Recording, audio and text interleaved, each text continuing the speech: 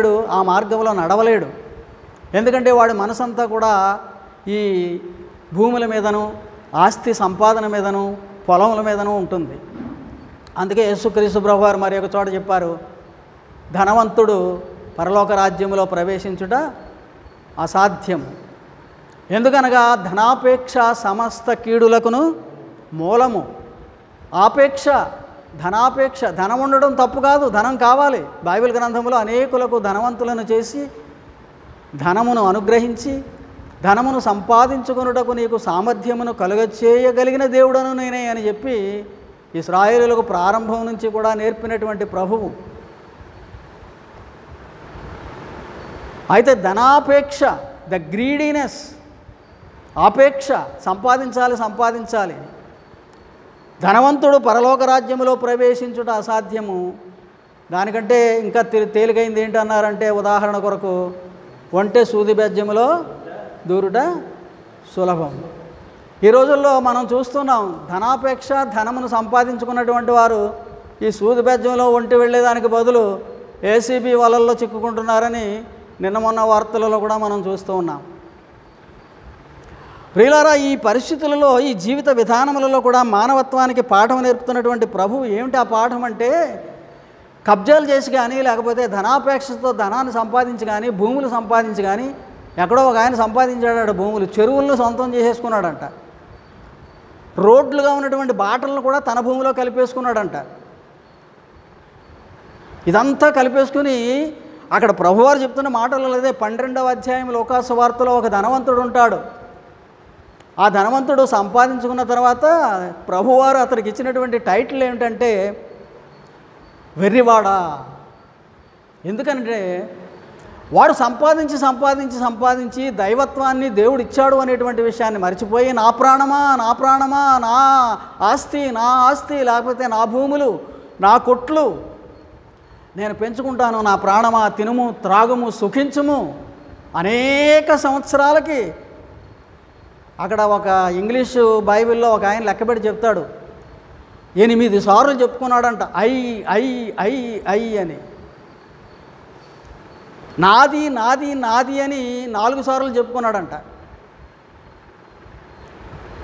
నాది నాది నాది అన్నది ఏదైనా నీకు మిగిలిందా? వెర్రివాడా భయంకరమైనటువంటి మాటలు అవి మనం వింటే భయము ఏడుపు దుఃఖము కలగవలసినటువంటి మానవ పరిస్థితి. వెరివాడా ఈ రాత్రియే నీ ప్రాణం కనుక పోయినట్లయితే ఇదంతయు ఎవడి పాలు కావాలి? భూ కబ్జాలు చేసి భూములు సంపాదిస్తున్నవారు కానీ కోట్లు కోట్లు సంపాదిస్తున్నవారు కానీ ఆసుపత్రులకు వెళ్ళిన తర్వాత ఆక్సిజన్ పెట్టినా కూడా బతకకుండా ఉన్న తర్వాత ఈ ఆస్తి అంతా ఎవడికెళ్తుంది అనేటువంటి ఒక ఆలోచన కనుక నేటి దినాల్లో ఉన్నటువంటి పరిస్థితులను బట్టి మానవులకు కనుక కలగగలిగితే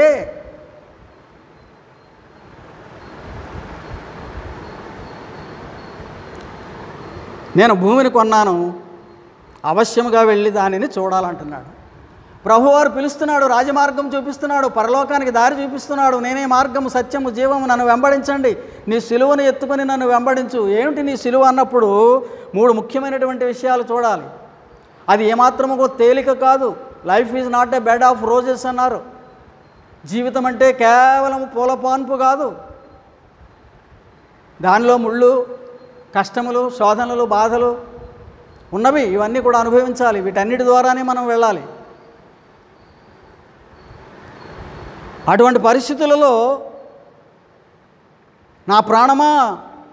తినుము త్రాగుము సుఖించుము అని వెళుతూ ఉండి నా పొలం చూసుకోవాలి నేను రాను అంటున్నాడు.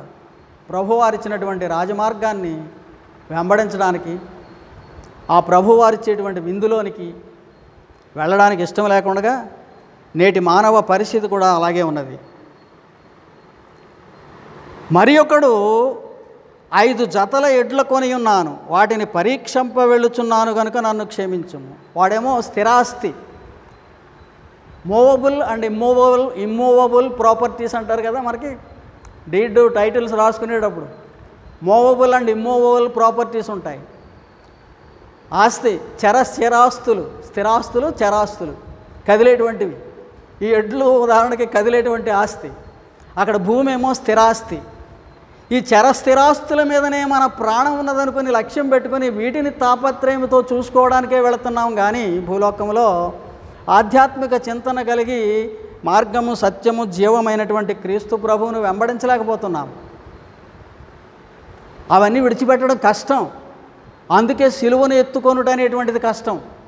ఆయన సిలువను భరించాడు సిలువను మోసుకున్నాడు దుఃఖముతో వెళ్ళాడు. లోకములో ఉన్నటువంటి మానవులు నీ యొక్క నా యొక్క దుఃఖమంతటిని కూడా పోగొట్టడానికి.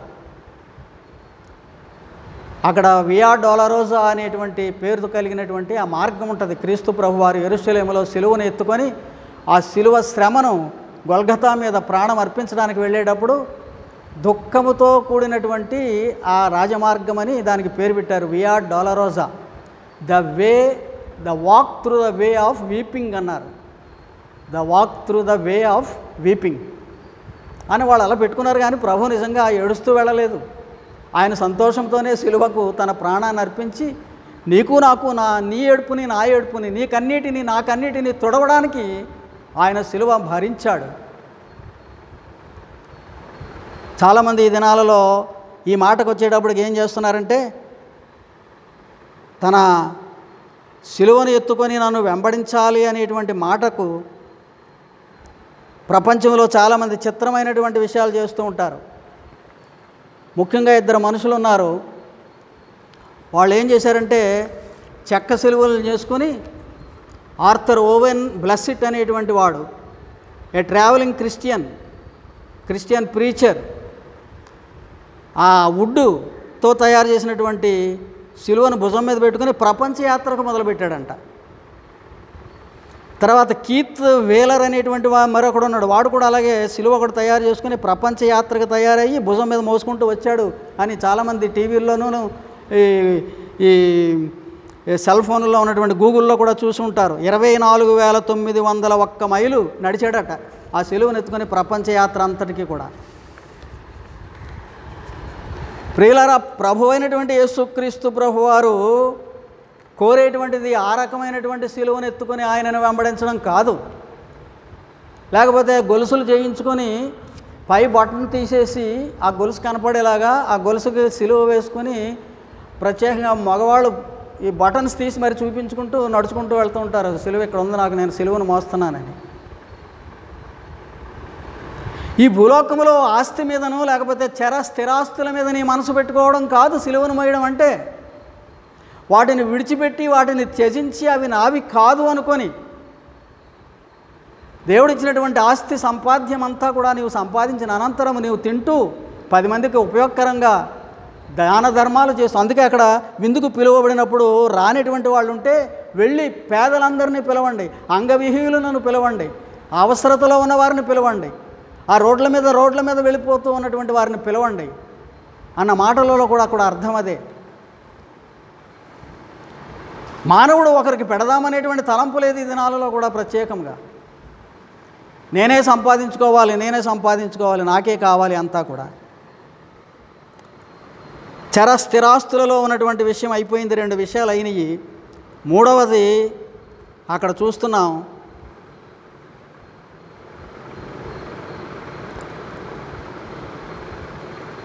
అవశ్యముగా వెళ్ళి దానిని చూడ మరి ఒకడు ఐదు జడ్ల జతల ఎడ్లను కొని ఉన్నాను వాటిని పరీక్షంపై వెళుచున్నాను అన్నాడు. మరి ఒకడు మూడో వాడు నేను ఒక స్త్రీని వివాహం చేసుకున్నాను అందుచేత నేను రాలేను. సుఖభోగములు రైటే అవసరమే. భార్యాభర్తలను ఇస్తూ ఉన్నాడు దేవుడు. నరుడు ఒంటరిగా ఉండడం మంచిది కాదని సాటి అయిన సహాయమును ఇచ్చి తన తల్లిని తండ్రిని విడిచిపెట్టి ఆమెను హత్తుకునేటువంటి ఆ గొప్పదైనటువంటి సంబంధాన్ని పెట్టినవాడు దేవుడే. నీవు భూమి మీద అనేక దినములు దీర్ఘాయుష్మంతుడు వగనట్లు నీ తల్లిని నీ తండ్రిని సన్మానించమని కుటుంబ వ్యవస్థలో ఇచ్చినటువంటి దైవ నిర్ణయమే. అన్నదమ్ములు అక్క చెల్లెండ్రు బంధుమిత్రాదులు అందరితోనూ ఉండవలసినటువంటి సామాజిక విధానము నిజమే. కానీ ఇక్కడ ఈ ప్రాధాన్యత అనేటువంటిది పొలం మీద ప్రాధాన్యత ఎడ్ల మీద ప్రాధాన్యత కేవలం పెళ్ళి చేసుకున్నాను కనుక ఇక నేను స్త్రీని వివాహం చేసుకున్నాను కనుక ఇంకా ఆమెతోనే గడుపుతాను తప్ప దేవుడు నాకు అక్కర్లేదు అనేటువంటి తత్వం వచ్చినప్పుడు. అందుచేతను అంటాడు తర్వాత వచనాలలో అప్పుడు ఆయన వీళ్ళందరినీ కూడా పిలవమన్నారు అటువంటి వాళ్ళని పిలిచిన తర్వాత నన్ను ద్వేషింపనివాడు వారిని ద్వేషించి నన్ను వెంబడింపనిటువంటి వాడు. ఎవడైనాను నా యుద్ధకు వచ్చిన ఏడు ఇరవై ఆరో వచ్చును తన తండ్రిని తల్లిని భార్యను పిల్లలను అన్నదమ్ములను అక్క చెల్లెండ్రును తన ప్రాణమును సహా ద్వేషింపకుంటే వాడు నాకు శిష్యుడు కానేరడు. ఇంగ్లీష్ పాఠాలు చెప్పేటప్పుడు చెప్తారు పెద్దలు టీచర్స్ కంపారిటివ్ డిగ్రీ అని. ఆ కంపారిటివ్ డిగ్రీ అన్నట్లు వీరికంటే ప్రభువు ఎక్కువ లక్ష్యం ఉండాలి. ఇది రెండవ స్థానం. ఇది ప్రధాన స్థానం అవ్వకూడదు. ఎప్పుడైతే ఇది ప్రధాన స్థానం అవుతుందో దేవునికి మనం ప్రధాన స్థానాన్ని ఇవ్వలేకపోతున్నాం. దైవ సంబంధమైనటువంటి ఆధ్యాత్మిక చింతన సమాజంలో మానవత్వంలో ఉండవలసినటువంటి గుణలక్షణాలు ఇతర సమాజ పరి సమాజ వ్యక్తులతో జీవించవలసినటువంటి విధానము దేవునిని వెంబడించాలి అనేటువంటి ఆ రాజమార్గంలో నడవడం అనేటువంటిది సాధ్యం కాదు. దాని కొరకు చెప్తూ అన్నాడే తప్ప ఈ సంబంధాలన్నీ కూడా ఇచ్చినటువంటి వాడు ఆయనే. యేసుక్రీస్తు ప్రభువారు విధేయుడై తల్లిదండ్రులకు పనిచేశాడు అక్కడని స్వార్థలలో ఆయన ప్రారంభ జీవితంలో ఉంటుంది.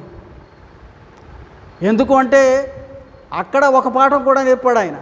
పన్నెండు సంవత్సరాల వయస్సు ఉన్నప్పుడు తల్లిదండ్రులతో కలిసి ఎరుసలేమును దేవాలయమును దర్శించడానికి పండగ పూట వెళితే అక్కడ పండగ సమయంలో తిరిగి మూడు రోజులు అయిన అనంతరం వాళ్ళు వెళ్ళిపోతూ ఉన్నారు ఇంటికి. కానీ దారిలో చూసుకునేటప్పటికి యేసుప్రభు వారు కూడా లేరు. అయ్యో ఎక్కడ ఉన్నారు? ఈయన మిస్ అయిపోయాడేమో అనుకుని మరలా తిరిగి ప్రయాణం అంతా కూడా మరలా దేవాలయం దగ్గరికి వెళ్ళేటప్పటికి ప్రభువారు అక్కడ ఇదిగో ఇందాక చెప్పినటువంటి పెద్దలు ధర్మ ధర్మశాస్త్రం మాకే తెలుసు అని చెప్పేసి ఈ కర్మకాండ అంతా కూడా ప్రచారం చేస్తూ లేకపోతే ఈ ఆచారాలన్నీ కూడా చేయండి అని ప్రచారం చేస్తున్నటువంటి ఈ పెద్దలతోటి ఆయన మాట్లాడుతూ ఉన్నాడు. వారు ఈయన మాటలకు ఆశ్చర్యపోతూ ఉండగా అక్కడ కనుగొన్నారు తల్లిదండ్రులు మళ్ళాను ఆయన్ని. అప్పుడు వారు అంటారు ఏమయ్యా నీకేమైనా మర్చిపోయావా నువ్వు? మేము బాధపడుతున్నామని తెలియదా మాతో రాలేదు నువ్వు ఏంటి? అంటే అప్పుడు అంటాడు ఆయన.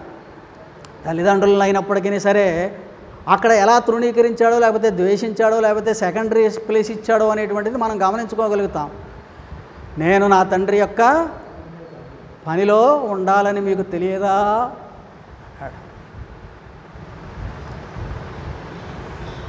దైవమైనటువంటి దేవాది దేవుని యొక్క చిత్తమును నెరవేర్చుట మానవులకు విధి అనేటువంటి విషయము అక్కడ మనం గమనించి క్రీస్తు అంతటి వాడు పాఠం నేర్పుతూ ఉండగానే ఆయన అంతటి మాటకు ఆయనే తండ్రి చిత్తమును నెరవేర్చాలి అనేటువంటి విషయం చెప్తూ తల్లిదండ్రులను గౌరవించి మరలా వారితో కలిసి వెళ్ళి అప్పుడు ఇంటి దగ్గర వారికి సహాయకుడుగా ఉన్నాడు అనేటువంటి పాఠ్యం అక్కడ ఉన్నది. అది అర్థం కాకపోతే మరలా వాళ్ళకే అర్థం కాలేదు ఆ రోజుల్లో నేటికి మనకు కూడా అర్థం కాలేదు. కపెర్నహోమ్ అనేటువంటి ఊరిలో ఆయన అనేక జన సమూహములు ఇక్కడ వచ్చినట్లే వస్తూ ఆయన వారితో బోధిస్తూ ఉండగా ఒక ఇంటిలో అన్నదమ్ముల్ని బంధుమిత్రాదులతో కలిసి తల్లిదండ్రులు వెళ్తారు ఆయన దగ్గరికి. ఆయన దగ్గరగా వెళ్ళడానికి వీలు లేక కౌరు పెడతారు. మీ తల్లి తండ్రి వచ్చారు ప్రభువారు మరి అమ్మ మా మీ అన్నదమ్ములు వచ్చారు అని చెప్తే నా తల్లి ఎవరు నా తండ్రి ఎవరు అంటాడు ఆయన. అంటే అక్కడ వాళ్ళని తృణీకరించాడనా? కాదు. ఆధ్యాత్మికమైనటువంటి దైవ చింతనలో ఉండి దేవుని కార్యములు దేవుని లక్ష్యము రాజమార్గంలో ఉన్నాడు.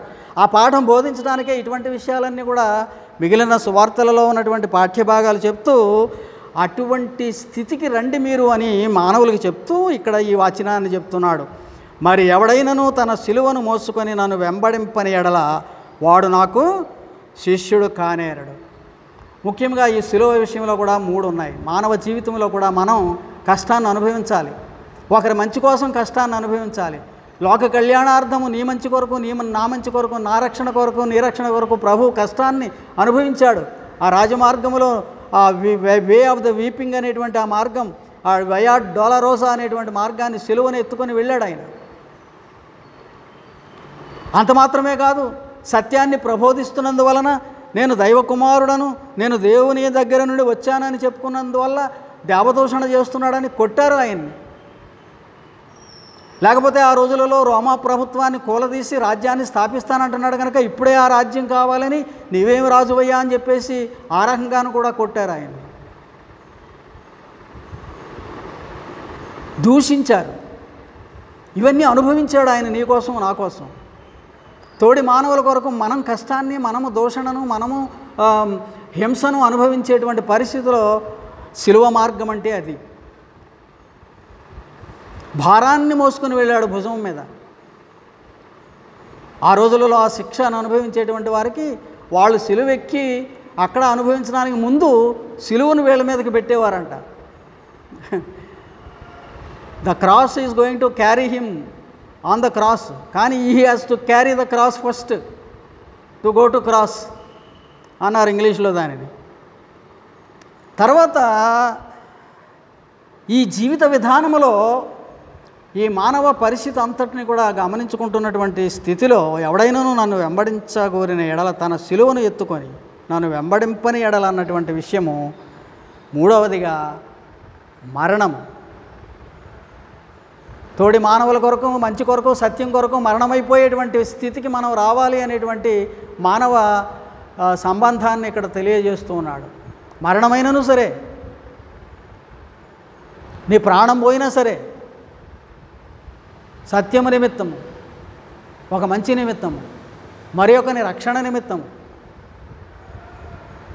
ఈ దినాలలో ఈ ఈ రకమైనటువంటి ఈ ఈ అర్థంతో కూడినటువంటి ఈ వాక్య భాగాలను అర్థం చేసుకోవడానికి బదులు తేలికైపోయినటువంటి విధానంలో ఈ రక్షణ అనేటువంటిది దొరుకుతుంది మనకు కానీ ఇతరులకు కానీ అనేటువంటి భావంతో ఉంటూ ఉన్నాం.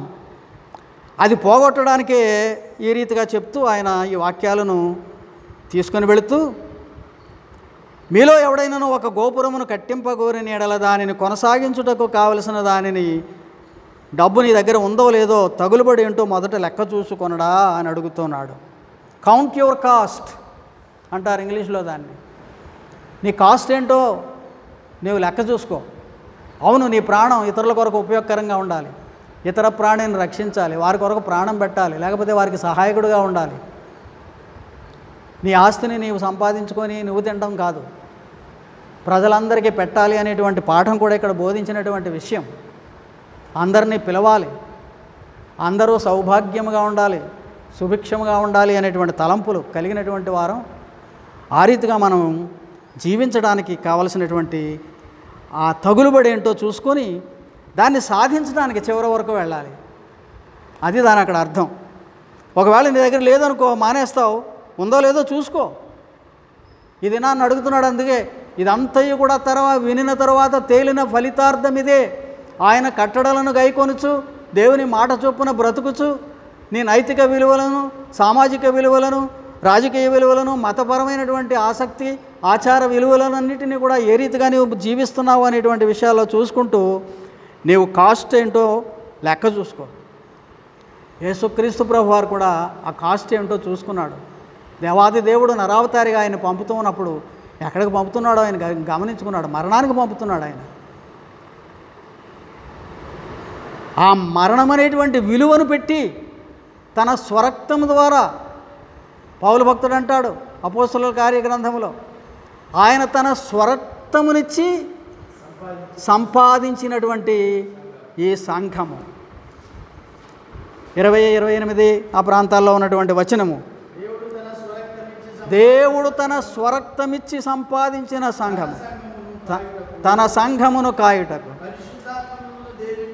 పరిశుద్ధాత్ముడు దేని మీద మిమ్ములను అధికారులుగా ఉంచి ఉన్నాడో ఆ యావత్తు మందను గూర్చియు. నీ మట్టుకు నీవును నీ మట్టుకు నీవును. ఇక్కడ ఇదిగో ఇదే పాఠం అక్కడ వస్తుంది. అందుచేత క్రైస్తవ సమాజంకి ఈ దినాలలో మా పాశ్రయ్య గారు సున సునందనయ్య గారు రోమపత్రికను వివరిస్తూ సంఘము ఉండవలసినటువంటి విధానాన్ని బోధిస్తూ ఉన్నారు. సంఘం యొక్క విధి విధానాలు సంఘం యొక్క ప్రవర్తన అనేటువంటిది వచ్చేటప్పటికి ఆయన స్వరక్తం ఇచ్చి ఈ paid the cost on the cross నిన్ను నన్ను సంపాదించి నిన్ను నన్ను అధికారులుగా ఉంచాడు ఈ సంఘానికి ఈ క్రైస్తవ సమాజానికి. ఈ క్రైస్తవ సమాజం యొక్క విలువ ఎంత అంటే నీ కాస్ట్ ఎంతో నువ్వు చూసుకొని బేరీజ్ వేసుకొని నీవు లోకంలోనికి వెళ్ళి నీ ప్రాణాన్ని త్యజించి నీ బంధుమిత్రాదులను నీ కుటుంబాన్ని నీ ఆస్తిని నీ జతల ఎడ్లను నీ భార్యను బిడ్డలను తల్లిదండ్రులను కూడా త్యజించి అనగా అక్కడ విడిచిపెట్టమని కాదు మిగిలినటువంటి బోధలలో మనం ఇందాక విన్నాం. విడిచిపెట్టమని చెప్పలేదు ఆయన. వారందరినీ ప్రక్కన పెట్టి సెకండరీగా పెట్టి రెండవ స్థానంలో పెట్టి ప్రథమ స్థానము నీవు నడవలసినటువంటి విధానములు. అందుచేత ముప్పై మూడవ వచనంలో చూసినట్లయితే ఆ ప్రకారమే మీలో తనకు కలిగినదంతయు విడిచిపెట్టని వాడు నాకు శిష్యుడు కానేరడు. నేను నీవు త్యజించుకుని సిలువెత్తుకోవాలి ప్రతిదినము కూడా డైలీ లైఫ్ ఇది డైలీ వాక్ ఆఫ్ లైఫ్. ప్రతిదినము కూడా ఒక్కసారి చేశామనేటువంటిది కాదు. లైఫ్ స్టైల్ అంతా కూడా ఈ క్రీస్తు ప్రభువు చూపినటువంటి రాజమార్గము బాట ఉత్తమమైనటువంటి మార్గంలో మనం వెళ్ళాలి. అది ఇంకా బాగా అర్థం అవ్వాలని చివరి వచనాలలో ఒక్క మాట చెప్తున్నాడు. ఆ విశ్రాంతి దినాన్న ఆ మాట ఏంటంటే ఉప్పు మంచిదే కానీ ఉప్పు నిస్సారమైతే దేని వలన దానికి సారము కలుగును? ఉప్పు మంచిదే మానవ జీవితం మంచిదే క్రీస్తు ప్రభువు విలువ పెట్టి కొనినటువంటి ఆత్మలు మనం రక్షింపబడిన వారం మంచివారమే. అది ప్రారంభంలోనే ఆయన ప్రసంగాలలో ప్రారంభించినప్పుడు శిష్యులతో చెప్పాడు మీరు లోకమునకు ఐదవ అధ్యాయంలో మత్తయిసు వార్త మీరు లోకమునకు ఉప్పై ఉన్నారు. ఉప్పు నిస్సారమైతే దేనివలన సారం పొందుతుంది అది? ఈ సైంటిస్టులు చెప్తూ ఉంటారు మనకి ఈ ఉప్పు కనుక తీసుకుని వెళ్ళి పొలంలో వేస్తేనంట ఉన్న పంట పాడైపోద్దంట. మంచిదైనా చెడ్డదైనా. అంచేత పొలంలో వేయకూడదు. పెంట మీద పడేస్తే ఈ పెంట ఎరువుగా మారడం మానేసి అది పనికి రాకుండా పోతుందంట. నిస్సారం అయిపోయినటువంటి పరిస్థితులలో అటు పొలంలోనూ వేయడానికి కుదరదు ఇటు పెంట మీద కూడా వేయడానికి కుదరదు. ఇప్పుడు వరకు మనం నేర్చుకుని క్రీస్తు ప్రభు చెప్పడానికి చెప్తున్నటువంటి ఈ పాఠాలన్నీ కూడా గ్రహించగలిగితే సారవంతమైనటువంటి వారంగా మనం ఉండి పారవేయబడే వారంగా ఉండకూడదు. సారవంతమైనటువంటి వారంగా ఉండి ఉప్పు ఏం చేస్తుంది? ఉప్పు రుచిని కలిగిస్తుంది. ఉప్పు రుచిని కలిగించి మన ఆహార పదార్థాలను ఇష్టపూర్వకంగా మనం ఆరగించడానికి కారణం.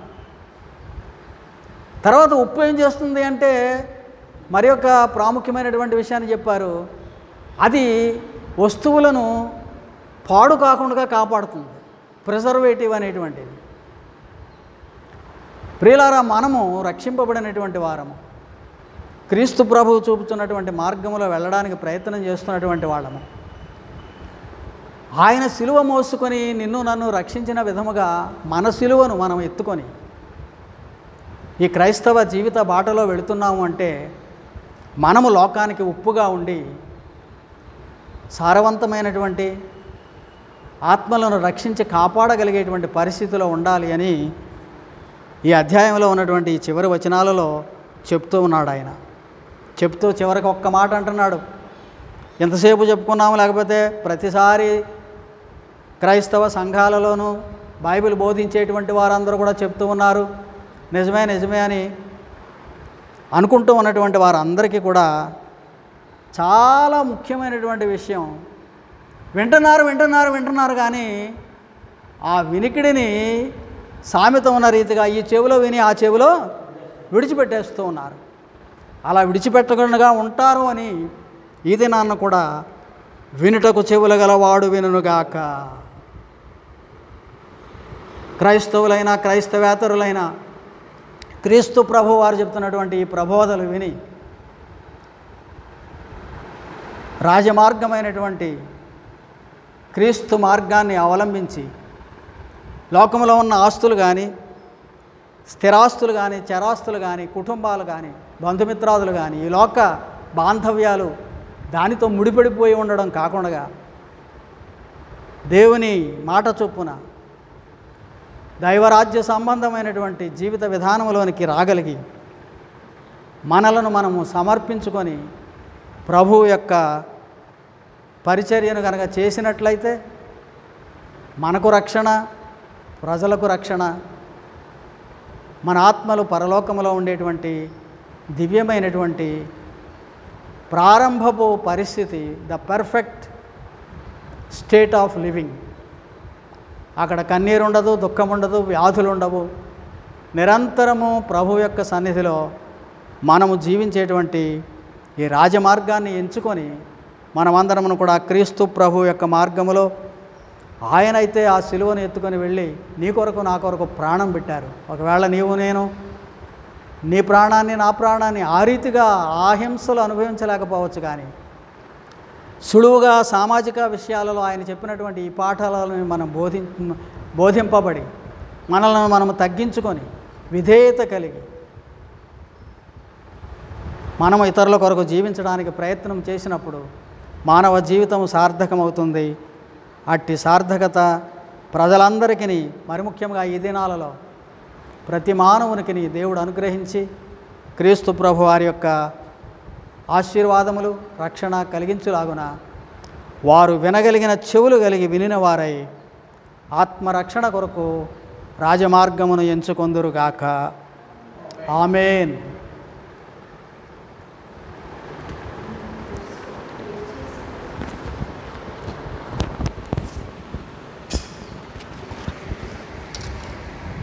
ప్రియ దేవుని బిడ్డలారా సర్వోన్నతులకు దేవుని కృపచేత లేఖనాల నుంచి మనం వినినటువంటి లేఖన భాగ ప్రకారంగా ఆది దినములలో ఆదాం గారు కలిగినటువంటి ఉన్నత స్థితి దేవునితో కలిగిన ఉన్నత స్థితి నుండి ఆయన పడిపోయాడు. మనం కూడా పడిపోయామనేటువంటి పరిస్థితులు ఉన్నను కూడా ప్రభాని యేసుక్రీస్తు వారి యొక్క సిలువను మనము ఎత్తుకొని ఆయనను వెంబడించుట ద్వారా మన జీవితంలో ప్రభాని యేసుక్రీస్తుకు మొదటి ప్రాధాన్యతనిచ్చుట ద్వారా మనము లోకమునకు ఉప్పై లోకమునకు వెలుగై అనేకులకు జీవార్థముగా మనం జీవించడానికి దేవుడు యోగ్యత కలుగు చేయుచున్నాడు అనేటువంటి విషయాన్ని సర్వోన్నతులకు దేవుడు దైవజనులు సాగర్ గారి ద్వారా మనకు తెలియపరిచారు. నేను వారికి వందనాలు తెలియజేస్తాను తలవంచండి ప్రార్థన చేసుకుని ఈ యొక్క ఆరాధనను మనం ముగించుకుందాం. ప్రార్థన మిగుల కృపయు కనికరము గల మా తండ్రి మా పరలోకపు ప్రభువ మీ పరిశుద్ధ దివ్య నామమును బట్టి స్థుతి వందనాలు చెల్లిస్తూ ఉన్నాము ఈ రీతిగా నీ సన్నిధానం ఆయన మేము చేరి నిన్ను గనపరచుటకు గాను మీరు మాకు అనుగ్రహించిన యోగ్యతను బట్టి స్థుతి చెల్లిస్తున్నాం ఎందుకనగా లోకమందంతటా ఉన్నటువంటి పరిస్థితులను బట్టి మా ప్రభా నీ సముఖమున మేము చేరి సన్నిధానంలో నిలిచి ప్రార్థించినటువంటి పరిస్థితులు మా జీవితాల్లో లేకపోయినప్పటికీ ఈ రీతిగా నాయన ఈ మాధ్యమముల ద్వారా మీ వాక్యాన్ని మేము గృహములలోనే ఉండి వింటూ మా విశ్వాసమును పరిరక్షించుకొనుచు నీ నామమును బట్టి కాపాడబడినటువంటి వారమై మరణము నుండి తప్పించబడుట ద్వారా మీకు సాక్ష్యార్థంగా నిలువబడుతున్నానికి నిలువబడడానికి మీరు చూపిన మహాకృప బట్టి వందనాలు చెల్లిస్తున్నాం. నేనే మార్గమును సత్యమును జీవమునై ఉన్నానని సెలవిచ్చినటువంటి మీరు నాయన ఈ దినములలో మమ్మలను మా ప్రభా నీ సత్య మార్గమందు ప్రతిష్ఠించిన వారై ఉండి దాని యందు మమ్మల్ని నడిపింపచేయు నిమిత్తమై మీరే మా శరీరంలో ఎందు నివసించుచున్నటువంటి దేవుడై ఉన్నారని మేము ప్రగాఢముగా విశ్వసించుచున్నటువంటి వారు కనుకనే మీ కృపలు మేము భద్రపరచబడిన వారమై నీ చిత్తమును వెతికి వెంటాడుచు నీ కృప ద్వారా నాయన మిమ్మల్ని మహిమపరుస్తూ ఇంకనూ ఎవరైతే ఇట్టి రక్షణార్థమకు జీవితంలోనికి ప్రవేశింపనొలక వారి వారి సొంత కార్యములనే చూచుకొనిచున్నటువంటి వారై ఉన్నారో వారిని బట్టి విజ్ఞాపన ప్రార్థన చేయుచున్నాం. పౌలు సైతం కూడా ఆయన తెసలోనియ సంఘంతో మాట్లాడుచు మీరు మీ సొంత కార్యములనే చూచుకొనుచున్నారు కానీ ప్రభు ప్రభు అనే యేసుక్రీస్తు వారి కార్యములను చూచడం లేదు అనేటువంటి మాట ఆయన సెలవిచ్చారు కనుక ఈ కడవరి దినాల్లో నాయన మేము చాలా జాగ్రత్త గలవారమండి నాయన నీ నామాన్ని కనపరచుట కొరకై మమ్మల్ని మేము ప్రతిష్ఠించుకొనచ్చు మా జీవితంలో మీకు మొదటి ప్రాధాన్యతనిచ్చుచు మేము జీవించడానికి గాను నీ కృప దాయిచ్చేమని వేడుకుంటున్నాం ఇట్టి వాక్యము ద్వారా మమ్మల్ని ఈ దినాన్ని బలపరిచారు. మీకు వందనాలు చెల్లిస్తున్నాం. నీ కృపలో జాయన ఇంకనూ జరగవలసిన ప్రతి కార్యము మా ద్వారా జరిగింపబడినట్లుగా. మీ ఆత్మావేశమును బట్టి మీ ఆలోచనను బట్టి మమ్మల్ని జీవింపచేయమని వేడుకుంటున్నాం. కృపగల మా ప్రభు ఇదిగో నేను ప్రత్యేకంగా మా తండ్రి సమయమందు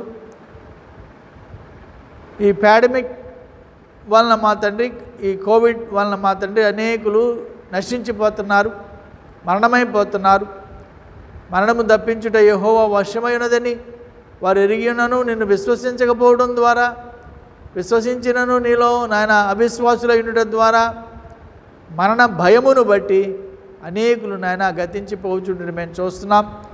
కనుకనే మా ప్రభా ప్రభువులు అన్నాడు మాకు మీరు నాయన ఇంద్రియ నిగ్రహము కలిగినటువంటి ఆత్మని ఇచ్చారు. కాబట్టి మేము భయపడి హార్ట్ అటాక్ వలన చనిపోవడం కానీ లేకపోతే ఇంకా ఏదో చేసుకుని వేరే వేరే విధానాలు మేము చనిపోవడం అనేటువంటిది కానీ మీకు ఎంత మాత్రం లేదు కనుక మాకు మీరు మా జీవన క్రమంలో ఎన్ని దినములను మీరు మాకు అనుగ్రహించినటువంటి వారు ఉన్నారో అందులో ఒక నిమిషమైనను తప్పిపోకుండా నీ కొరకు జీవించుచు నాయన. నీ నామాన్ని మహిమపరచడానికి మీరు మాకు యోగ్యత కలుగు చేశారు. అట్టి ధైర్యమును నాయన ఎవరైతే ఇప్పుడు వ్యాధిగ్రస్తులై ఉండి కరోనాను ఎదుర్కొని పోరాడుతున్నటువంటి వారు ఉన్నారో వారందరికీ కలిగ చేయండి ఆ విధంగానే నాయన దానిని గెలిచి నిలిచినటువంటి వారు ఇంకను ఎందరైతే ఉన్నారో వారి వారి జీవితాల్లోనూ నాయన నీవే ఆ ధైర్యమును కలుగ చేయటం ద్వారా వారు అనేకులను ధైర్యపరుచున్నటువంటి యోగ్యతను కూడా అనుగ్రహింపచేయమని వేడుకుంటున్నాం. కృపగల మా ప్రభా మా పరలోకపు తండ్రి మా రక్షక మా ఆలోచనకర్త వగు దేవా మా విమోచకుడా మీకే స్థుతి వందనాలు చెల్లిస్తూ ఈ దినమన ఈ రీతిగా ఈ ఆన్లైన్ ద్వారా నైనా మాతో ఏకీభవించినటువంటి ప్రతి బిడ్డను బట్టి కూడా మీకు స్థుతి వందనాలు చెల్లిస్తున్నాం. మీ నామమును బట్టి వారిని బలపరచండి. అటునే మా ప్రభా నిన్నటి దినమున మరి మా స్నేహితుడు జార్జ్ గాబ్రియల్ వాషింగ్టన్ గారి యొక్క సంస్కరణ స్థుతి గుడిక ద్వారా మిమ్మల్ని మహిమపరచడానికి కృప చూపించారు. మీకు వందనాలు చెల్లిస్తున్నాం. దీన కుటుంబాన్ని ఆయన బలపరచండి. వారును కూడా నాయన ఈ కోవిడ్ వలన బలహీనపరచబడిన వారై ఉండి కుటుంబంగా వారు కోలుకొని లేవనెత్తబడ్డారు.